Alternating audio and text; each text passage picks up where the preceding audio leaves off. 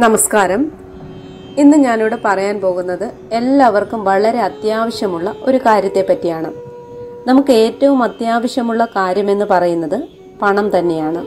ധാരാളം ആളുകൾ സാമ്പത്തിക പ്രശ്നങ്ങൾ മൂലം ബുദ്ധിമുട്ട് അനുഭവിക്കുന്നവരാണ്.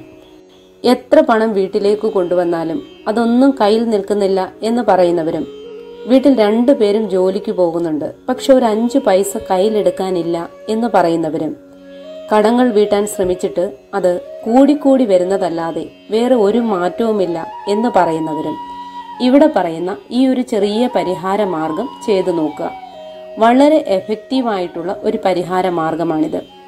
നമുക്കെല്ലാവർക്കും അറിയാവുന്ന ഒരു കാര്യമാണ് പച്ചക്കർപ്പൂരത്തിനും ഗ്രാമ്പുവിനും ഏലയ്ക്കും കറുകപ്പട്ടയ്ക്കുമൊക്കെ ധനത്തെ ആകർഷിക്കാനുള്ള ശക്തിയുണ്ട്. അത്തരത്തിൽ നിങ്ങളുടെ വീട്ടിലേക്ക് ധനത്തെ ആകർഷിക്കുന്നതിന് വേണ്ടി ചെയ്യുന്ന ചെറിയൊരു പരിഹാരവും. അതോടൊപ്പം മഹാലക്ഷ്മിയുടെ ചെറിയൊരു മന്ത്രവും കൂടി ജപിക്കുമ്പോൾ നിങ്ങൾക്ക് മഹാലക്ഷ്മിയുടെ അനുഗ്രഹം ലഭിക്കുകയും പണപരമായ എല്ലാ പ്രശ്നങ്ങൾക്കും അവസാനം കണ്ടെത്താൻ കഴിയുകയും ചെയ്യുന്നതാണ്. ഈ ഒരു പരിഹാരം ആർക്ക് വേണമെങ്കിലും ചെയ്യാവുന്നതാണ്. വളരെ ശക്തിയുള്ള ഒരു പരിഹാര മാർഗമാണിത് ഏഴ് ദിവസം മുടങ്ങാതെ ഇത് ചെയ്യണം. നിങ്ങൾക്ക് എപ്പോൾ വേണമെങ്കിലും ചെയ്യാവുന്ന ഒരു വഴിപാടാണ് ഇത്. എങ്കിലും ഏഴ് ദിവസം തിരഞ്ഞെടുക്കുമ്പോൾ ഇടയ്ക്ക് ഒരു ദിവസം പോലും മുടക്കം വരാൻ പാടില്ല. ഇനി അഥവാ മുടങ്ങിപ്പോയാൽ ആദ്യം മുതൽ തുടങ്ങേണ്ടതാണ്. ഈ ഒരു കാര്യം മാത്രം പ്രത്യേകം ശ്രദ്ധിക്കണം. ഈ പരിഹാരം ചെയ്യാനായി വേണ്ടത് ഇരുപത്തിയൊന്ന് ഏലക്കയാണ്. നല്ല സുഗന്ധമുള്ള കേടുപാടുകളൊന്നുമില്ലാത്ത ഇരുപത്തിയൊന്ന് ഏലക്ക വേണം ഈ ആവശ്യത്തിനായി എടുക്കാൻ. ഈ ഇരുപത്തിയൊന്ന് ഏലക്കയാണ് ഏഴ് ദിവസവും ഈ പരിഹാരം ചെയ്യാനായി എടുക്കേണ്ടത്. അപ്പോൾ ഓരോ ദിവസവും മൂന്ന് ഏലക്ക വീതം എടുക്കണം. ഈ പരിഹാരം ആർക്ക് വേണമെങ്കിലും എപ്പോൾ വേണമെങ്കിലും ചെയ്യാവുന്ന ഒരു പരിഹാരമാണ്. ദിവസത്തിനും സമയത്തിനും യാതൊരു പ്രാധാന്യവുമില്ല. എങ്കിലും മത്സ്യമാംസാദികൾ ഭക്ഷിച്ചുകൊണ്ടും സ്ത്രീകൾ പീരിയഡ്സ് ടൈമിലും ഇത് ചെയ്യാൻ പാടില്ല. ശുദ്ധവൃത്തിയോടുകൂടി മാത്രമേ ഇത് ചെയ്യാൻ പാടുള്ളൂ. ഇനി മത്സ്യമാംസാദികൾ ഭക്ഷിക്കുന്ന ഒരു വ്യക്തിയാണെങ്കിൽ രാവിലെ കുളിച്ചിട്ട് വന്ന് ഇത് ചെയ്യാവുന്നതാണ്. അപ്പോൾ ഈ പരിഹാരം എങ്ങനെയാണ് ചെയ്യേണ്ടതെന്ന് പറയാം.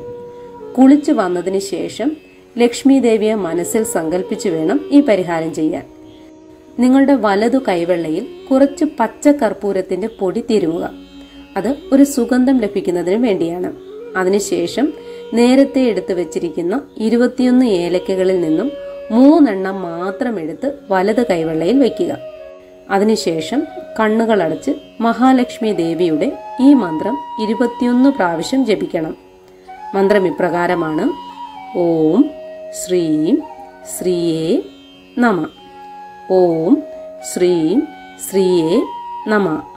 ഓം ശ്രീം ശ്രീയേ നമ.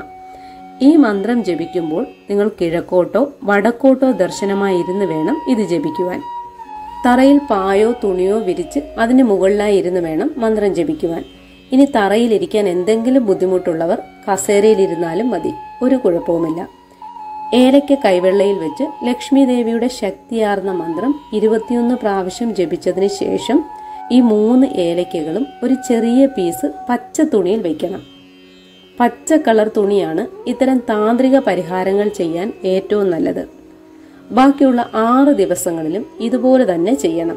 അതായത് വലതു കൈവെള്ളയിൽ കർപ്പൂരപ്പൊടി തിരുമിയതിനു ശേഷം ആ കൈവെള്ളയിലേക്ക് മൂന്ന് ഏലയ്ക്ക് എടുത്തു വെച്ച് കണ്ണുകൾ അടച്ച് ലക്ഷ്മി ദേവിയുടെ വിശേഷപ്പെട്ട മന്ത്രം ജപിച്ചതിന് ശേഷം ഈ ഏലയ്ക്കകൾ പച്ച തുണിയിലേക്ക് വെക്കണം. ഏലക്ക വെച്ചതിന് ശേഷം തുണി മടക്കി പൂജാമുറിയിൽ സൂക്ഷിച്ചു വെക്കണം.